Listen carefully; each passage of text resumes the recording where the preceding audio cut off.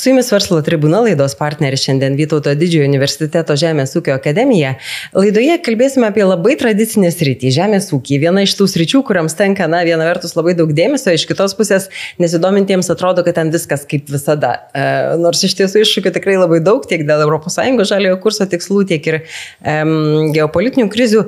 Mokslo pasiekimai ypatingai svarbus, kaip niekada turbūt svarbus e, Žemės ūkyje, nes be inovacijų dirbti, na, tuose pačiuose žemės plotuose, žemė yra turbūt labiausiai ne, ne, neatsirandantis, neatsinaujinantis išteklis, yra visiškai statiška. E, tad e, iš tiesų šiandien mano pašnekovai iš Vytauto didžiojo universiteto Žemės ūkio akademijos kanclerė profesorė daktarė Astrida Miceikienė. Sveiki, ponė Astrida. Labą dieną ir e, Bioekonomikos tyrimų instituto direktorius docentas dr. Rytis Kominas. Sveiki, pons Ryti. Labą dieną. Kalbame apie mokslą ir verslo sinergiją. E, tekia iš tikrųjų nemažai girdėti, kad Lietuvoje labai trūksta tos sinergijos ir bendradarbiavimo, kad na, mokslas savo, verslas savo, kiekvienas savo laboratorijose, jeigu verslas kažką ir tyria, tai jisai pats tyria. Kaip yra iš tikrųjų, kiek mokslas bendradarbiauja su verslu, tiek kalbant apie žemės ūkį, tiek apskritai galbūt galima apie tai kalbėti, ponė Strida. E, tai mitas, kad mokslas ir verslas dirba atskirai, e, tai buvo prieš daug metų. Šiuo metu, ypatingai žemės ūkio srityje, e, mokslo ir verslo partnerystė yra labai tampri ir prasideda nuo bendrų tyrimų, bendrų projektų ir taip pat baigėsi jau inovacijų demonstravimu. Tai yra e, mes kartu su žemės ūkio verslu darome parodas, pristatome inovacijas, lauko dienas, kitus renginius ir taip pat per metus padarome virš šimto bendrų projektų, bendrų sutarčių kuriuo metu gimsta naujos e, idėjos ir jos realizuojamos, komercializuojamos. Taigi e, šiandien dienai pažanga verslė neįsivaizduojama be mokslo, o mokslo institucijos turi galimybės daryti tuos tyrimus, kurie reikalingi verslui. Tai yra pažanga visoje šalyje, jeigu žvelgiant į žemės ūkio verslą plačiaja prasme. E, miškininkystė, vandens ūkis, e, ūkininkavimo nauji modeliai, visa tai veda į pažangą ne tik tai moksle, bet ir versle. Gerbiamas Rytė, ar pritartumėt? Jūs dar ir tyrimų institut, instituto vadovas esate. Tai aš iš tikrųjų tik tai galiu pritarti profesoriai kadangi tiesą sakant, komercializavimas naujų technologijų ir produktų tai yra viena, bet mes jau eilę metų žengiam su verslu kojan kojan dalyvaudami tarptautiniuose projektuose. Tai iš tikrųjų tokiuose kaip Europos horizontas, LIFE projektai, tai verslo subjektai yra kaip partneriai taip pat kartu su mokslo įstaigom šiuose projektuose. Na ir tokio tipo projektuose tikrai yra daug ką pasiekti verslui, kadangi, na, sakykime, tarptautiniu mastu vykdomi projektai, tai atriša rankas ir, ir tarptautiniam žinomumui, na ir įgalina to projekto rėmose, sakykime, įsidėkti jau prototipinės e, technologijas, na ir, sakykime, konkurencingai jau žiūrėti į ateitį. Kalbant apie žemės ūkį, žemės ūkio sektoriaus svarbą, e, e, tai rodo, ta prasme, jo svarbą rodo ir tie procentai BVP 8 procentus ES sukuria e, žemės ūkio, maisto ir gėrimų sektorius, jame dirba panašus skaičius dirbančiųjų, iš tikrųjų tai yra milžiniški skaičiai, bet kas rodo, kad tai agrosektorius svarba dar labiau auga Europoje ir pasaulyje, tuo pačiu Lietuvoje be abejo. Šiuo metu visas pasaulis išgyvena transformacijų ir pokyčių laikotarpį. Ir tie pokyčiai, jie ne, nesivysto vieną kryptim. E, tai galima išskirti tokius tris pagrindinius e, pokyčius, kurie lemiamai keičia žemės ūkio svarbą. Tai pirmiausia, e, buvusi pandemija ir karas Ukrainoje, kurių pasiekmė yra didesnės poreikis vietiniam maistui e, ir saugumui, nes šalies pagrindas, šalies saugumo pagrindas ir yra maistas, nes e, sutrukinėjus tarptautiniam grandinėm e, dėl karo, dėl pandemijos iš karto pamatėme, kad šalis labai greitai gali pritrūkti maisto. Nebus maisto, iš karto kils šalies suirutį. Kita kryptis tai yra skaitmenizacija, labai smarkiai vystosi nauji verslo modeliai, naujos technologijos ir tai keičia iš esmės ir požiūrį į žemės ūkį, ir technologiją žemės ūkį ir atsiranda naujas maistas, atsiranda nauji produktai, kurie, apie kuriuos mes prieš daug metų ar prieš netgi keliolika metų net nekalbėjom, tai yra keičiasi požiūris į atliekas, atlieka jau yra maistas, atlieka jau yra produktas dabar. Ir dar vienas dalykas tai yra klimato kaita. E, Europos žalėsis kursas Paryžiaus konferencijos rezultatai rodo, kad e, be žemės ūkio šių tikslų nepasieksime. Todėl, kad žemės ūkis su atsinaujančiais ištekliais, su jų gamyba yra pagrindas visom kitom sritim, įvardijant maisto pramonę, gėrimų pramonę, statybų sektorius, baldų gamybą, netgi dabar kalbam apie energetiką. Taigi šioje vietoje žalėsis kursas iš vienos pusės sako, kad reikia daugiau atsinaujinančių išteklių. Iš kitos pusės, kad biologinę įvairovę reikia didinti ir kad reikia palikti daugiau nedirbamo žemės, tai reiškia, kad reikia efektyvinti žemės ūkio gamybą, atsižvelgiant į aplinkos sauginius reikalavimus, į socialinės tam tikras problemas, kurių yra, ir didinti maisto gamybą, nes e, virš šimto milijonų žmonių kiekvieną dieną nedavalgo arba badauja. Tai reiškia, kad žemės ūkis pasaulyje susiduria su kardinaliais priešingomis kryptimis einančiais pokyčiais ir tuos pokyčius turi suderinti. Tai drąsiai galima sakyti, kad jeigu pasaulyje ir Lietuvoje sumažės žemės ūkio apimtis, tai kils didelės problemos, e, tai gali būti ir ekonominės, ir socialinės katastrofos. Beje, šis sektorius ir energetikai labai svarbus ir vis svarbesnis tampa, kaip jau ir kanclerė minėjo, tiesa? Tikrai taip, iš tikrųjų energetikoje mes irgi labai dirbame gana plačiai, nes tai yra atsinaujinanti energetika, tai apima ir, ir, ir sakykime, biomasės inžineriją, kur, kur mes galim panaudoti na, įvairias atlikas, atlikas, sakykime, kad ir biodujų gamyboje, taip pat ir, ir, ir, ir įvairių katilinių šildymui panaudoti tas atlikas ir, ir, ir panašiai.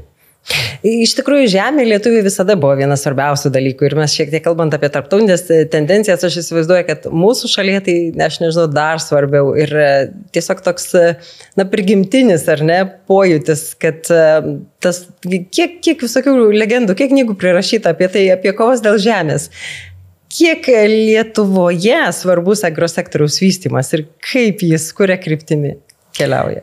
Turbūt svarbiausias dalykas, kad Lietuva neturi naftos, neturi dujų, neturi kitų praeitie labai svarbių išteklių, bet jinai turi žemę, tai yra ateityje ir dabartie labai svarbus išteklius, kurio neperkelsi, verslo neiškelsi, kaip sakykime, na, IT ar fintech verslus e, per vieną dieną į kitą žemyną. E, tai reiškia, kad Lietuvos stabilumo ir saugumo pagrindas ir yra žemės ūkis. Ir pas mus labai smarkiai išvystai tai yra maisto pramonė, baldų pramonė, statybų sektorius ir visa tai dabar tiesiogiai susiję su žemės ūkiu. Tai Lietuvoje, kalbant apie bendrai, na dabar tokį naują terminą bioekonomikos vystimą, tai yra vienas svarbiausių e, sričių, į kurį e, turi būti kreipiamas dar didesnis dėmesys, nes tai yra pagrindas e, mūsų visos šalies saugumui. Jeigu dabar per krizę, kuri šiuo metu yra dėl geopolitinių procesų, dėl e, tam tikrų pandemijos padarinių e, praktiškai didžioji dalis verslų apimtys mažėja, tai žemės ūkio apimtys didėja. Ir eksportas per visas krizės, kiek buvo nepriklausomoje Lietuvoje, išgelbėtas buvo tik žemės ūkio ir maisto produktų eksporto pagrindu. Tai reiškia, kad e, šis verslo sritis yra labai perspektyvi, dabar labai smarkiai besivystanti, e, tik tai, žinoma, reikalingas tam tikras subalansavimas tarp augalininkystės ir gyvulininkystės verslo šioje srityje. Žinoma, labai svarbi yra miškininkystė. Lietuva turi didelę dalį teritorijos miškų ir miškų pramonė irgi yra labai svarbi žemės ūkio sudėdamoji dalis. E, taigi, e, šioje srityje Lietuvoje e, bioekonomikos bendrai paėmus visus verslus, įskaitant žemės ūkį ir su juo susijusius verslus, e, perspektyvos yra labai geros, juo labiau, kad yra paskaičiuota, kad vienas investuotas euras į bioekonomikos verslus duoda 10 eurų gražą. Paminėjot, kad žemė yra tas, kuris neperkelsi, neiškelsi to verslo, ar įmanoma ją sunaikinti, e, gerbiamas ryti? Ar, ar įmanoma padaryti taip, kad būtų nebepanaudojama? Nes čia ir vienas iš tų, kad e, neišnykstantis, ar ne, dar vienas iš, to, iš tų pliusų, naftą tu ištirps ir nebebus. Žemė jinai visada bus. Ar tikrai? Tai uh, iš kitos pusės tai yra urbanizacija, tai iš tikrųjų žemės ūkio, kaip ir sakykime, toks priešingybė, kadangi mes jeigu urbanizuojam teritorijas, nelieka laukų ir panašiai, tai mes tik tai galim pereiti kitas technologijas, sakykime, į, į, į vertikalę augalinkystę ar, ar panašiai, bet iš principo tie plotai, pievos, jos vis tiek turi išlikti. Jos yra gana svarbios iš tikrųjų bioįvairoviai, tai dabar neseniai per mediją girdėjom, kad yra toks uh, kaip ir įsakymas duotas ūkininkams, kad turi atstatyti pievas neseniai sunaikintas ir, ir jas arba, sakykime, kažkiek tai padidinti pievų skaičių. Na, to reikalauja iš tikrųjų ES biovairovės strategija, kadangi pievos, tai kaip žinom, yra iš tikrųjų toks kaip ir bioįvairovės lopšys, ten yra daug vabžių, atsiranda daug paukščių, na, iš, iš viso daug ir, ir žinduolių taip pat. Tai iš principo tai yra labai, labai svarbu Lietuvai, tokiai kaip ir, sakykim, gražaus gamtovaizdžio kraštui. Ir kalbant šiek tiek apie, aš dar truputį prie, tos, prie to žemės energetikos ir pievų noriu, nes buvo, toks susipriešinimas vienu metu irgi kilęs, pavyzdžiui, kad e, saulės elektrinės atima žemės ūkio e, vietą, atima plotus, atima žemę ir naudoja ne tam, kam turėtų būti žemė naudojama. Ar tenka susidurti su tokiu požiūriu? Šiek tiek esam girdėjom apie tokį požiūrį, bet iš principo, jeigu mano asmeninė nuomonė, tai aš manau, mes turim labai daug plotų neišnaudotų, sakykime, infrastruktūros. Tai mes turim begalę daug stogų įvairių. Tai turbūt reikėtų pradėti nuo tenais, o, o dirbamus laukus užimti saulės kolektoriais, manau, nėra visiškai labai tokia išmintinga strategija. Aš dar pridurčiau, kad čia jau ir yra mokslininkų darbas įvertinti, kiek ekonomiškai aplinkosaugiškai yra efektyvu vieną ar kitą e, žemės plotą išnaudoti arba kitaip sukurti kitokias technologijas e, alternatyviai energetikai vystyti e, šioje srityje. Ir dirbame dėl to ir dirba bio energetikos specialistai, kurie kartu su ūkininkais rengia projektus su tarptautiniais partneriais rengia ir įgyvendina projektus tam, kad ir pasakytų verslui, kad e, kurioje vietoje bioenergetika yra tinkama vystyti, kuriuose galbūt netinkama, kuriuose e, žemės ūkio verslo srityse galimybės didesnės, kuriuose mažesnės. Tai yra atitinkami tyrimo metodai ir e, šioje vietoje Žemės ūkio akademijos e, indėlis gali būti ir yra jau didelis dėl to, kad Žemės ūkio akademijoje galima apjungti skirtingų sričių mokslininkus. Ir toje pačioje bioenergetikoje man pačiai teko dirbti su podoktorantūros studijų studentė, kuri dirbo ekonomikos srityje, bet mes dirbame kartu su bioenergetikos specialistais ir skaičiavome, e, kiek ekonomiškai ir aplinkosaugiškai yra efektyvu e, panaudoti vieną ar kitą augalą e, bioenergetikai, biodegalų gamybai ir kitiems bioenergetikos produktams. Tai čia ir yra akademijos didelis pranašumas prieš galbūt tam tikrais atvejais specializuotas mokslo institucijas, kad mes galime apjungti įvairių stričių mokslininkus ir gauti pilną vaizdą apie vieną ar kitą problemą, kurią sprendžia mokslas kartu su verslu verslu. Tai tai ir yra svarbiausia, ar ne? Ta, tie rezultatai, kuriuos na, žemės ūkio miškininkystės, bioekonomikos, mokslinių tyrimų, ta, tyrimų ta sinergija tarp būtent Žemės ūkio akademijos ir verslo. Tai čia yra tos rytys, apie kurias mes kalbam, ar ne? Tai, taip, taip, taip, todėl mhm. kad e, kuo toliau, tuo labiau matoma, kad vienos ryties mokslininkai paprastai negali išspręsti e, tam tikrų verslų kylančių problemų. Ir kalbame visiškai apie kitokių specialistų rengimą. Kalbame apie visai kitokius tyrimus, kuriuos jau ir dabar atliekam. Tai yra tarpdisciplininiai moksliniai tyrimai, e, tarpdisciplininės inovacijos, nes bet kokiu atveju e, turi dirbti technologas, turi dirbti, sakykime, žemės ūkio mokslininkas žemės ūkio srityje ir turi dirbti ekonomistas arba vadybininkas, nes bet kokia inovacija, kurią sukuria technologas, inžinierius, agronomas ar miškininkas, jinai turi būti pamatuota ir ekonomiškai, turi būti įvertinta, kiek tai vadybiškai svarbu, galų gale, kiek tai gali būti pritaikytos skaitmeninės technologijos. Tai yra, reikia dirbti įvairių sričių mokslininkams, netgi kai kuriais atvejais ir menininkams. Taip, iš tikrųjų, dar papildant, tai Žemės ūkio akademijai prieš porą metų būtent tuo tikslu ir buvo įkurtas Bioekonomikos tyrimų institutas, kuris šiuo metu vienyje 45 mokslininkus, pagrindė yra iš mokslininkai iš Lietuvos, bet taip pat turi mokslininkų iš Junktinės karalystės, Belgijos, Lenkijos bei Ukrainos. Na ir visi, jeigu tai pasižiūrėsim juos visus, jie apima net devynias mokslo kryptis. Tai tame tarpe, aišku, ir ekonomika, vadyba, taip pat ir inžinerinės sritis. Tai vad jų sinergija ir, ir sakykime, duoda tam tikrą naudą, tai sėkmingai dalyvaujam e, tarptautinėse Europos programuose, taip pat ir, ir, ir nacionalinėse. Konkrečių pavyzdžių gal turit. Na, bendradarbiavimas, aš suprantu, ir tarptautinis, jisai nėra, nėra vien tik tai Lietuvoje uždarytas. Tai iš principo tas erdvės tokios ir konkretiems rezultatams jos yra pakankamai didelės, ar ne?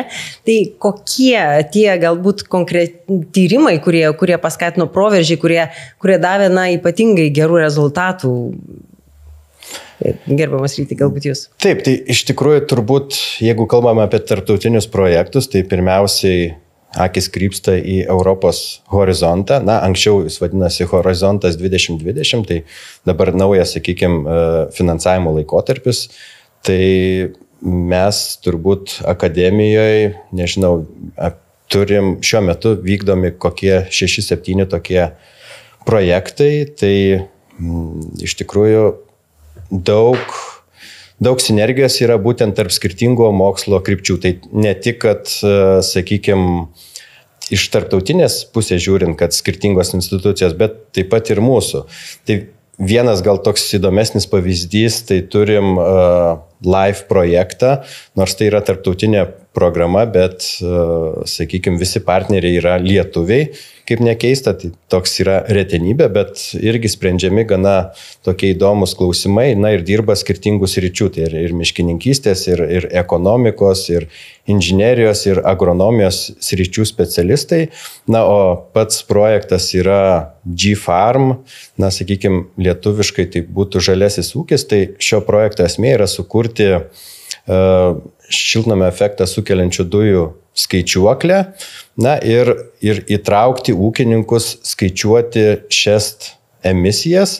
Na, tokiu būdu jie, ūkininkai, gautų tam tikros naudos ir kas be ko, tai paskatintų šiltnamio efektą sukeliančių dujų mažinimą ūkio legių, taip pat ir anglies absorpcijas ūkija.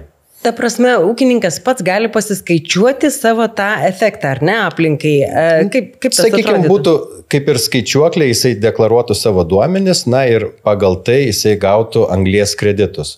Na, tai būtų tokia kaip anglės kreditų rinka ir iš, iš to jisai taip pat gautų papildomos, sakykime, finansinės paskaitas, paskatas ir, ir panašiai. Čia pana, panašiai kaip pramonėje taršos leidimai tam tikrai. Kažkas ne? panašaus. Kažkas nes, tokia. Nes, uh, tie anglės, sakykime, kreditai tai yra tam tikra rinka kreditų, tai, sakykime, jeigu mes turim taršę įmonę, tai jos, jinai nori, norėdama būti žalesnė, ji perka tuos kreditus, tai, tai tie pinigai, sakykime, atkeliauja iki ūkininko. Tai vad, principas yra toksai. Mhm. Ir um, kitose srityse galbūt jūs turit pavyzdžių.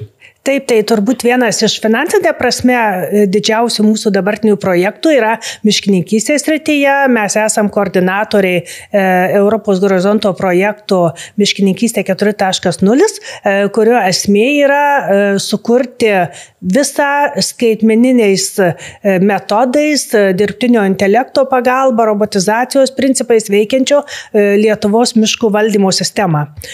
Ir sukurti bioekonomikos visą sritį miškininkystėje, pradedant nuo pirminio miškininkystės verslų, nuo miško auginimo iki galutinių produktų. Tai yra statybų sektoriaus ir baldų pramonės ir kitų iš miško produktų besiverčiančių pramonės ryčių. Tai šiuo projektu vertė yra 20 milijonų ir Žemės ūkio akademija, miškininkystės, ekonomikos e, mokslininkai kartu su informatikais e, ir kurs e, būtent tokį modelį.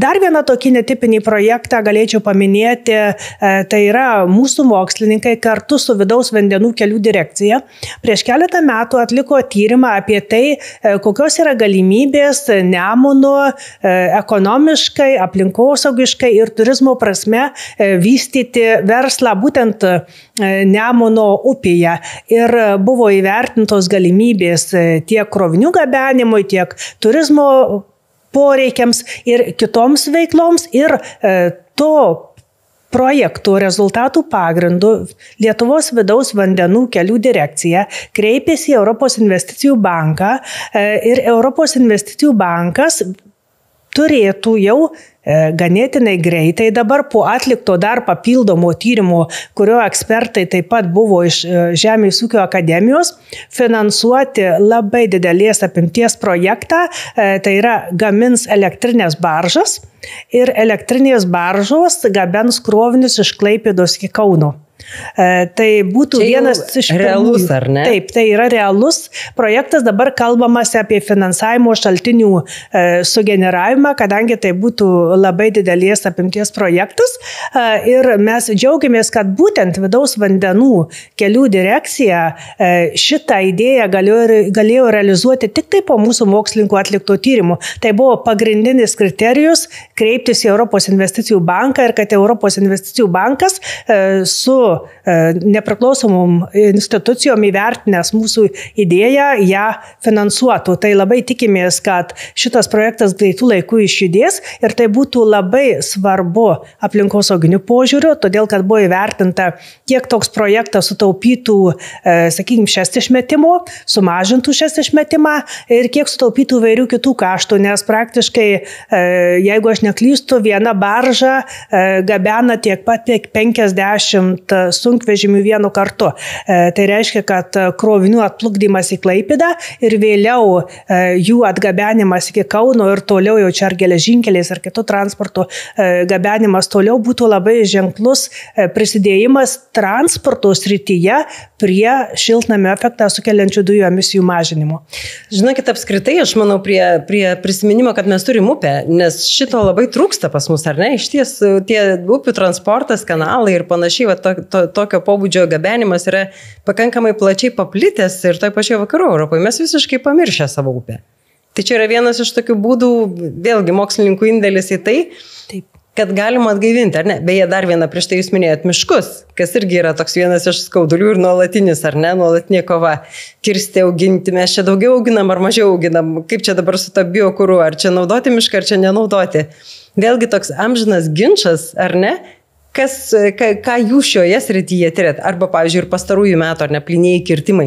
Tai vėlgi, juk čia mokslininkų darbas e, aiškintis, kiek ten tų graužikų, e, kaip jie ten besivadintų, kiek jie kenkia, ar ten viską reikia plinai. Kaip, kaip elgtis apskritai su mišku ta filosofija, ar ne pati? Tai irgi jūsų darbas. Taip, bet kokiu atveju, kurią sritį be pažiūrėtumėm, e, kartais yra sakoma, kad e, problemas gali išspręsti verslas pats. Arba tarkim, kai yra e, na, kelių verslo sričių bendras projektas, bendros idėjos. Taip, verslas gali pasiūlyti, tarkim, augalų apsaugos produktus tam tikrus, gali pasiūlyti tam tikras technologijas, bet jeigu viena verslo įmonė siūlo kitai verslo įmonė, tarkim, na, produktais, kad ir augalų apsaugos produktais prekiaujančios įmonės siūlo savo paslaugas ūkininkui, tai nebus objektyvu visada.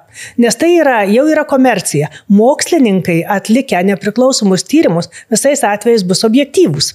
E, ir dėl tos priežasties čia turbūt yra vienas iš kertinių dalių, e, kuomet mokslas ir verslas bendradarbiauja. E, dabar verslas atsisuka, ypatingai žemės ūkio verslas. Mes bendravom su žemės ūkio verslu, su aptarnaujančiu sektoriumi, tai yra technika prekiaujančiamis, technologijomis prekiaujančiamis įmonėmis. Jos pačios nori, kad mes kaip mokslininkai pasakytumėm, kad tikrai jų technologija yra pati geriausia kad jų technologija tinkama Lietuvos sąlygomis, kad galimas naudingiausias ekonominės aplinkos auginis efektas būtent naudojant vieną ar kitą techniką, vieną ar kitą technologiją. Ir šioje vietoje ir yra ta sinergija labai svarbu. Mes galim objektyviai pasakyti, e, mokslininkai turi ilgalaikių laikotarpių duomenis gali prognozuoti ir tam tikras tendencijas į priekį.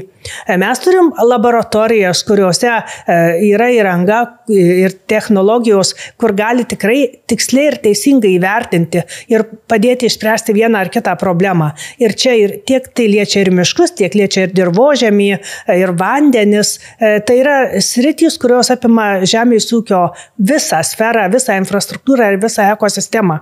Tai čia ir yra vienas iš svarbiausių momentų. Dar viena problema yra, verslas turi konkurentus ir jeigu kažkoks tai tyrimas arba kažkokie tai atradimai yra verslo viduje, ar ne, dažniausiai tai lieka to verslo viduje. Mokslas turbūt tą problemą sprendžia ir, pavyzdžiui, tyrimų institutas, jeigu jisai kažką tyria, tie tyrimai nėra kažkam konkrečiam verslui dažniausiai skirti, ar ne, tai yra tokia daugiau bendro pobūdžio. Nors nebejoju, turbūt gali ir konkrečios įmonės ir su atskirais verslais veikiausiai dirbat. Kaip tas vyksta bendradarbiavimas? Tikrai taip. Tai iš tikrųjų viską apibrėžia sutartis. Tai jeigu verslininkas kreipiasi dėl komercializavimo ten naujos technologijos, naujo produkto, Tai faktas, kad tie tyrimo rezultatai priklauso, sakykime, verslininkui, jisai, mes tik atliekam mokslinius tyrimus. Bet jie tada Jų, vis tiek lieka nevieši tada, ar, ar vieši? Jo, jie, jie iš principo lieka nevieši, jie lieka Na ir paskui sekantys žingsniai, sakykime, galėtų būti atsirasti ar patentas, arba, sakykime, verslo įmonė ten įsidėgė savo naują technologiją ir panašiai. Bet jeigu mes atliekam, sakykime, patys tyrimus, na, sakykime, ne, ne kažkokius užsakomuosius, bet patys mokslininkai dėl žingeidumo ar panašiai, tai iš principo tie rezultatai tampa vieši, kadangi kada mes juos paskelbėm, išpublikuojam tam tikrose moksliniuose žurnaluose. Tai prie tų domenų bazių ten, sakykime, kai kuriais atvejais gali visi prieiti, kai kuriais atvejais, na, turėtų susimokėti pinigus, kad paskaitytų tą mokslinę publikaciją. Vat užsiminė tyrimai dėl žingeidumo. Kiek dažnai tokie tyrimai e, gimsta iš, sakykime, ar galbūt ir visada, aš nežinau, iš to, ką matot aplinkui, iš to, kas, na, esamų problemų sprendimas, kitaip sakant. Kaip tie tyrimai tampa, na, ateina iki, iki jūsų minčių, iki galvų, iki laboratorijų ir iki, ir iki paskui galutinio rezultato. Kur ta pirminė idėja būna dažniausiai? Tai yra dvi galimybės arba verslas pasako, kokias problemas reikia spręsti, arba mokslininkas, kuris, na, dažniausiai mato e, kelis, keliolika arba keliasdešimt metų į priekį ir turėdamas tam tikrą patirtį ir duomenis ir numatydamas tendencijas, kaip vienas ar kitas procesas keisis ar viena ar kita technologija keisis, jau pats mokslininkas mato, e, kokias problemas reikės spręsti ateityje. Tai pavyzdžiui, dabar jau reikia gal pradėti galvoti, ką mes darysim po 2030 metų, nes tarkim, bendroji žemės ūkio politika siekia maždaug 2030 e, metus, bet jau dabar pradėjom galvoti, o kas bus, kaip įgyvendinsim žalėje kursą, o kas bus, jeigu jo neįgyvendinsim, e, ką darysim, e, kuomet žmonių skaičius pasaulyje dar padaugės, o kaip bus, jeigu mes nualinsim dirbožėmį jeigu nepasiseks mums e, su klimato kaitos e, problemų sprendimu, nes apie tai galvoja kol kas tik ES, e, tai Dvi galimybės yra ir viena ir kita jos e, turi savo proveržį, tik tai priklausomai nuo to, ar tai taikomieji, ar tai fundamentiniai tyrimai vykdomi. Ir ar dažnai naudojasi to, ką mokslininkai, ar kaip jūs, pirmiausia, tai vėl, kaip surandat savo klientą, ar tiesiog paskelbėt tyrimą ir laukiat, kad kažkam jo prireiks? Iš tikrųjų, tų suradimų, tai kaip minėjo kanclerė, tai vienas variantas, kad pats verslininkas ateina pas mus. Tai tokių pavyzdžių tikrai turim, va neseniai su, su vabzdininkystė tikrai atėjo verslininkas pas mus, na ir pradėjom bendradarbiauti šioje srityje, na tai va dabar yra pateikta inovacijų agentūrai paraiška moksliniams tyrimams, ino pažanga kvietimui, tai va laukiam dabar rezultatų. Na, o kiti variantai tai gali būti taip, kad, na, pažintis, sakykime, tam tikros parodų metu, tam tikrų renginių metu ir, ir, ir panašiai. Tai kartais būna, kad mokslininkas turi idėją, na ir susiranda netgi įmonę, kuri veikia panašioje srityje, na ir, ir paskui, sakykime, vykdo bendrus, bendrus, bendras idėjas, mokslinius tyrimus, na, o verslininkas, sakykime, gali juos paskui realizuoti savo verslo įmonėje. Tam tikrose terpėse sutikti taip, žmonės taip, taip. tiesiog galų gale perima, perima mintis ir, ir dalyjasi idėjomis. Ir dar aš pridėčiau, kad, na, turbūt e, jau seniai reikia įsklaidyti mitą, kad Lietuvoje moksliniai tyrimai nėra kokybiški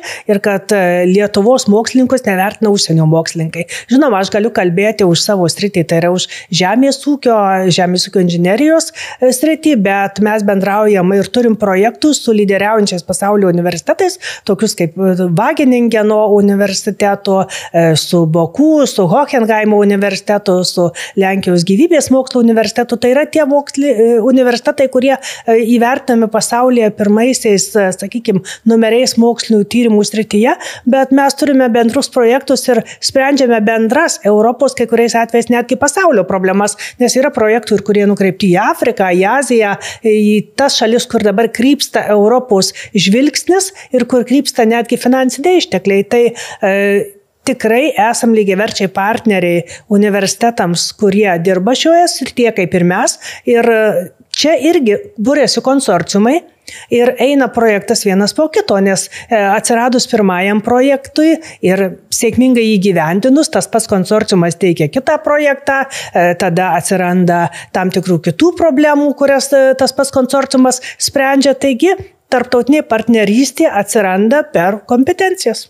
Paminėkit keletą tokių globalių problemų sprendimo projektų, kuriuose dalyvaujate. Tai gal aš turbūt pradėsiu. Prašau. Iš tikrųjų, paminėjo kanclerė apie Afriką, tai turėjom keletą tokių įdomių projektų, tai technologijų perdavimo Afrikos valstybėm, tai buvo hidroponikos įrengimo technologijos bei uh, nuotekų vandens antrinio panaudojimo žemės ūkėje. Tai vat, tose, tose projektuose buvo siekiama ne tik technologijas perduoti, bet ir ir, ir, ir ugdyti verslingumą jaunimo ir, ir, ir, ir, ir moterų tarpę, tai tuo pačiu ir sprendžiamos, sakykime, lygybės, lyčių lygybės problemos, imigracijos e, problemos, na ir, ir, ir kitas tokias socialinės. Na, o tokia kaip iš, iš, iš energetinio nepriklausomumo, irgi tokia kaip ir ekonominė globali problema, tai irgi toks pavyzdys gana įdomus. Turėjom projektą Tarptautinį horizonto 2020 kartu su Europos partneriais, aišku, e, kur hidroenergetikos sprendimai buvo pritaikomi Afrikos ir Latino Amerikos valstybėms. Tai va irgi buvo tokia kaip ir, ir pagalba besivystančioms valstybėms. Taip. Taip pat turim daug e, projektų e, dirbožėmio būklės vertinimo ir gerinimo srityje, ypatingai dabar, kuomet dirbožėmis kaip ir identifikuojamas kaip pagrindas viso ko e, tvariam žemės ūkio vystimuose, tai sprendžiame dirbožėmio problemas jo gerinimo problemas e, ne, liet, ne tik Lietuvoje, bet visos ES mastu. Taip pat priklausom e, tam tikrom tarptautiniam organizacijom, e, kaip yra Europos gyvybės mokslų universitetų asociacija, bio pramonės konsorciumas, su kuriais būtent su bioekonomikos vystymu susijusias problemas sprendžiame kartu. Tai yra ir bioekonomikos strateginės nuostatas ir jų gyventinimas atskiruose šalyse ir visos visos bendrosios žemės ūkio politikos e, sprendžiame pro, kartu problemas susijusias su e, tiek su bioįvairovės didinimu, tiek su klimato kaitos mažinimu. Tai turime labai daug ir įvairių projektų ir dažniausiai tai yra, kaip jau sakiau, yra tarpdisciplininiai. O kalbant apie ateitį, kas toliau? Kokie e, na, tyrimų plėtros planai ateičiai? Tai išskirčiau tokius pagrindinius mūsų dabar iššūkius, tai yra agrobiotehnologijų vystimas Lietuvoje, e, taip pat aplinkos biotehnologijų ir maisto biotehnologijų. E, mes dabar turim ambicijų kalbėti daugiau ir daugiau tyrimų daryti apie naujo maisto atsiradimą. E, yra tam tikras terminas naujas maistas, tai yra kitoks maistas, negu kad mes įpratę, nes... Pavyzdžiui? Na, pavyzdžiui, e, iš atliekų pagamintas maistas. E, skamba nekaip. Skamba nekaip, bet tai yra atlieka. E, pasakysiu pavyzdį, jeigu seniau išspaudę sultis, turėdavom, sakykime, na, iš aviečių įspaudę sultis mes turėdavom sėklytes kaip atlieka. Tai dabar, jeigu paskaičiavus ekonomiškai ir aplinkosaugiškai, sėklytės, tos, kurios lieka išspaudus sultis, yra netlieka, o pagrindinis produktas, o atlieka yra sultis. Tai čia šiuo atveju atliekos jau nėra ta žodis, kuris e, kažkas lieka. E, mes seniau ir apie e, pieno, sakykime, išrūgas irgi kalbėdom kaip apie atlieką, o dabar kalbam kaip apie patį sveikiausią produktą. Tai yra kalbam apie naują maistą, žinoma, kalbam ir darom tyrimus ir apie iš vabzdžių, iš dumblių, nes vis dėlto plotai žemės mažėja, tos, kurios e, skirta žemės ūkiui, o gyventojų poreikiai ir skaičius didėja. E, tai kalbam apie šią problemą ir mūsų iššūkiai yra biotehnologijos ir sukurti Kaune agrobiotehnologijų centrą, kuris būtų konkurencingas tarptautiniu lygiu. Čia viena iš ambicijų. Kita ambicija tai yra skaitmeninis žemės ūkis. E, jau dabar Lietuvos verslas ganėtinai skaitmenizuota žemės ūkio srityje, tačiau e, skaitmeninės technologijos labai sparčiai eina į žemės ūkį vis naujos ir naujos, e, todėl labai daug dirbame skaitmeninio žemės ūkio srityje. Na ir mūsų ambicijos yra turėti klimato kaitos tyrimų centrą, kuris apjungtų mūsų dabartinius e, laboratorijas, mokslininkus, padalius dirbančius klimato kaitos rytyje ir parodyti tiek visuomeniai apie tai, kad žemės ūkis yra naudingas ir kad jis gali prisidėti prie klimato kaitos padarinių šalinimo. Iš kitos pusės mūsų ambicijos yra parodyti, kad be žemės ūkio kitos pramonės rytys ir paslaugų rytys žaliojo susitarimo nepasieks. Tai yra vienos be žemės ūkio, tikrai taip nebus. Ir tą turi suprasti tiek politikai, tiek e, verslininkai, tiek ekonomistai ir mes patys visuomenė turi suprasti, kad čia yra pagrindas. Ir tai yra mūsų ambicijos parodyti kitokį žemės ūkį. Tai yra žemės ūkis yra netoks, koks dar kartais įsivaizduoja visuomenį. Tai matyti, tema daug platesnė čia negu šio podcast'o rėmose, bet e, gerbiamas rytė, pridursi dar kaž, kažką, kokie planai, pavyzdžiui, tyrimų instituto. Iš tikrųjų, dar tokį gal nepaminėjo profesorė, vienas iš planų yra akredituoti gyvūnų produkcijos tyrimų centro laboratoriją, kuri dirbtų su, su, su genetika. Iš tikrųjų, jau šiuo metu dirbama, tik tai mes neturim akreditacijos, tai reikia siūsti tam tikrus duomenis į kitas laboratorijas. Tai būtų pirma Lietuvoje tokia akredituota laboratorija. Na, o dabar principas iš, princi, iš tikrųjų tai yra e, nustatyti genetinius tam tikrus uh, tipus gyvulių, galvijų. Na, vienas iš tokių, pavyzdžiui, mėsos kokybė, tai marmuringumas. Tai iš tikrųjų, jeigu mes turim, na, sakykime, galvijus, kurie atitinka turi tuos genus, tai ir turėsim aukštos kokybės mėsą. Tai va tas poreikis tikrai yra gana didelis. Na ir šiuo metu dirbame šioje kryptyje, tai stengsime per 24 metus pasiekti, kad būtų laboratorija mūsų akredituota, na ir galėtumėm pilnai vykdyti tokius tyrimus. Ir vabžiai dar mačiau vienas irgi iš, yra iš, iš jūsų tokių planų, ar ne, kaip ateities maisto, gal taip rimčiau. Tikrųjų, tai, nors tai jau ir dabar tiesa, aš manau, kad netgi ir taip galima sakyti. Taip, ir dabar tiesa, tai iš tikrųjų vabzdininkystė yra gana svarbi ir tikrai ateities. Dar tyrimų ten labai daug yra ką veikti šioje srityje.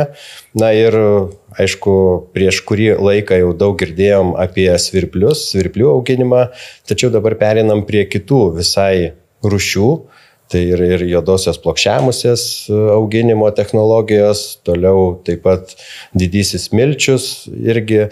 Tai va šitų vabalų tiek tam tikras, e, sakykime, ar, ar, ar, ar lervų stadijoje ar panašiai mes galim gauti tam tikrus produktus. Tai yra ir, ir kurie gali būti naudojami ir, ir kosmetikoje, ir, ir e, sakykime, kaip proteinai įvairių pašarų gamyboje, tai ir, ir, ir žuvininkystėje, ir, ir pašarams, sakykime, gyvūnėliams, šunims, katėms. Na ir aišku, gali būti kaip ir maisto žmonėms sudėdamoji dalis, kas be ko. Tai eisim googlinti, kaip atrodo jūsų paminėti vabaliukai. O šiandien ačiū Jums už pokalbį. Iš tiesų čia turbūt tema labai plati ir galima be galo, be krašto aiškintis ir, ir išgirsti iš Jūsų labai įdomių dalykų, bet greičiausiai kitą kartą šiandien e, verslo tribūnos pašnekovai buvo Vytauto didžiojo universiteto, universiteto Žemės ūkio akademijos kanclerė, profesorė daktarė Astrida Miceikienė. Dėkui Jums ir Bioekonomikos tyrimų instituto direktorius docentas daktaras Rytis Kominas. Ačiū Jums. Dėkui už pokalbį ir iki kito karto. Iki. iki.